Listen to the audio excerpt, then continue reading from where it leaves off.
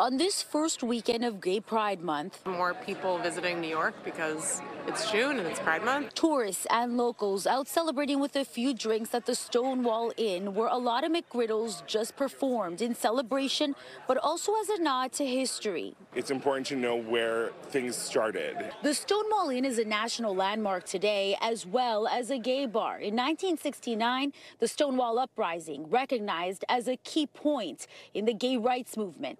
After police raided the Stonewall Inn, it led to clashes between law enforcement and activists. We had the Stonewall riots here, and I feel 50 years later, we are still being persecuted for being our most authentic selves. While Gay Pride Month is about celebrating progress, it's also about recognizing injustice, many say. June 1st marked the beginning of Gay Pride Month, a tribute to the LGBTQ plus community. Events across New York City will take place all month long with the annual parade as the highlight. New York City's Pride Parade is one of the largest pride events in the world. Yes, I'm celebrating Pride.